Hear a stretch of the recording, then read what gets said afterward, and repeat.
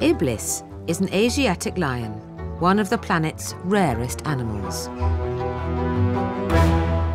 Iblis, the male, he's quite bulgy. He's a typical man, basically. A bit of a bully sometimes.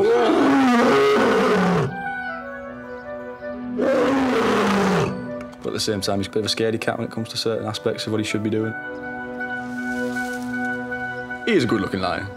From our perspective, anyway, he's, he's, quite a, he's quite a handsome beast. He lives with nine-year-old lioness, Kumari. Kumari's quite intelligent. I kind of think in the animal kingdom, you know, the females are the ones that you have to watch out for because, like lions, for example, it's the females that have to rear the cubs and do all the hunting, you know, so obviously they're going to be more intelligent than the males. Male lions are always stupid. Iblis and Kumari have been together for the last five years. But they failed to produce cubs. He's definitely still doing what he should, but she just doesn't seem to be very receptive towards him. And it may be that they've been together so many years that she maybe feels their relationship is more familial than, you know, sexual in the wild, obviously, she could go and pick and choose, in theory, who she wants to be with. She could mooch around and move between areas and pick a male that she quite fancies, really. Here, she's stuck with Iblis, whether she likes him or not, so she hasn't really got a choice. There seems to be nothing physically wrong with the pair. Obviously, we've done fertility tests on Iblis and Kumari. You know, they should be able to make babies, but there's obviously something that's not right, and what that is, we, we don't know really.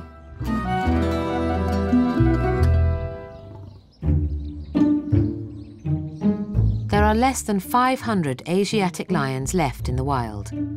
The pressure is mounting on Iblis to perform. They're all in one place in India. They're protected, but if there was an outbreak of a disease or a natural disaster, it is entirely possible that the entire lot of wild lions could be wiped out in one go. So keeping a captive population is essential just in case, you know, as a backup. The keepers have now decided to intervene and give nature a helping hand.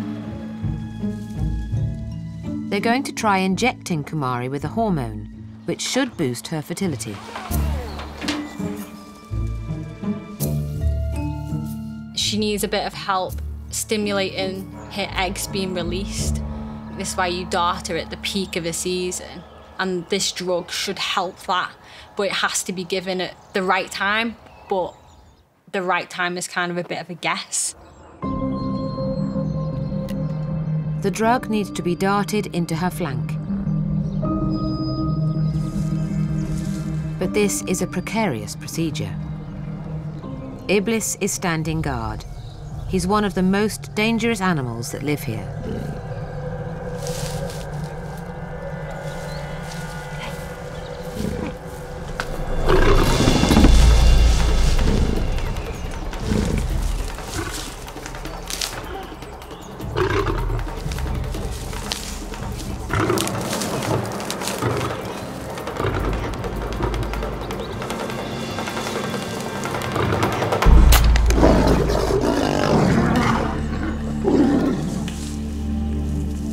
It's a rude awakening for Kumari, but the injection isn't going to cause her any pain. The idea is we'll be able to stimulate Kumari so that she actually ovulates and she'll become pregnant and hopefully produce, uh, produce a few cubs in a few months' time. Only time will tell if the treatment will help this couple have cubs. It's two months since Kumari's hormone treatment and the keepers need to find out if it's worked. We take fecal samples from Kumari every day, and they go to the analysts, and they tell us whether she's pregnant or not, basically. This is the very glamorous part of the job. The samples should indicate raised levels of the hormone progesterone, if Kumari's pregnant. But it's not good news. The team have drawn a blank.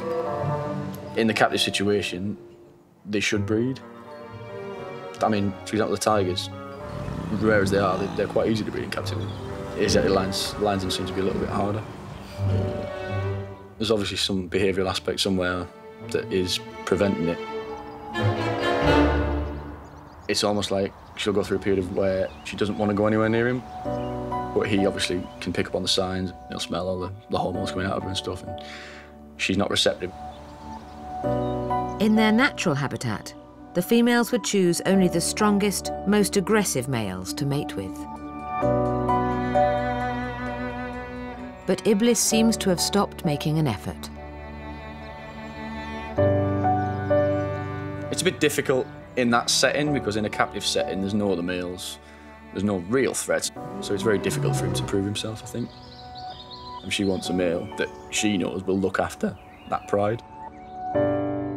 I think he sometimes needs to be a bit more out there and a bit more aggressive towards her. To make Iblis more attractive to Kumari, the keepers need to find a way to toughen him up and make him more like his cousins in the wild.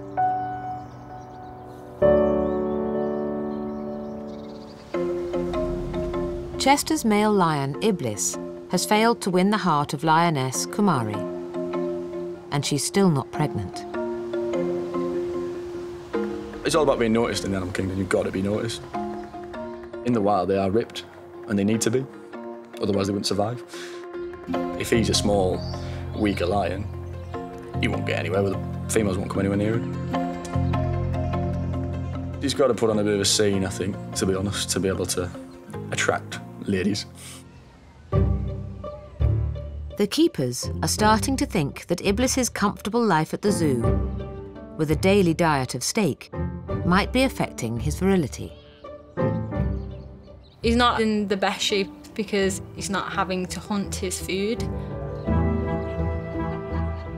Because we were just putting small joints in and they had one each, he's got no reason to be aggressive because he knows he's going to get a bit of meat. So they've come up with a plan. They're hoping that by hanging up carcasses for Iblis to tear down, he will become more muscular and impress Kumari.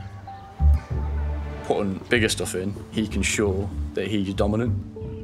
He should prove to her that he, he's got a bit about him. Iblis's aim is to get the carcasses and try and keep them all to himself.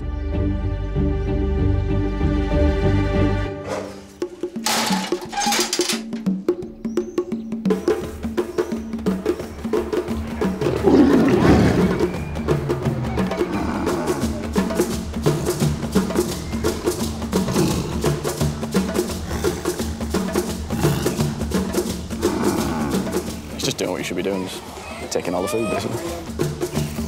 The first carcass feed seems to have reawakened Iblis's natural instincts. Now we're giving them the carcasses, you know, being able to do different things with them, like tether them down, things like that. It's getting him to use all his muscles and get him fitter. He'd never shown any sort of behaviour like that before. He's got a bit more about him than I thought. And over the weeks, the keepers gradually leave larger and larger carcasses.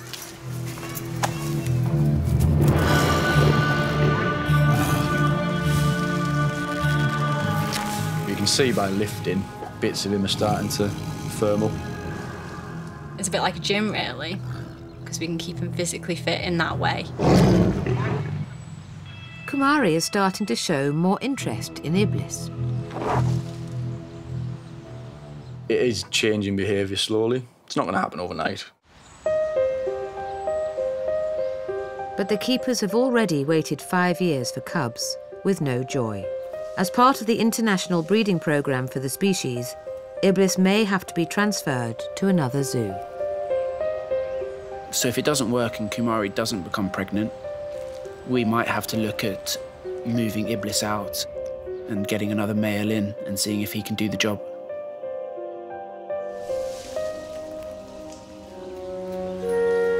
In the Asiatic lion's paddock, there appears to have been a change of heart.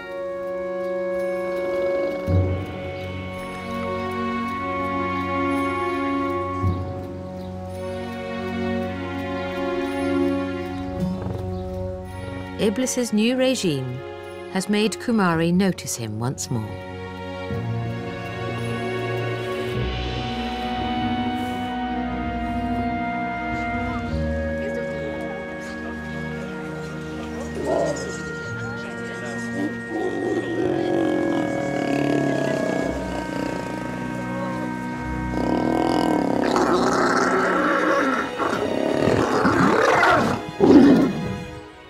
Would be quite nice.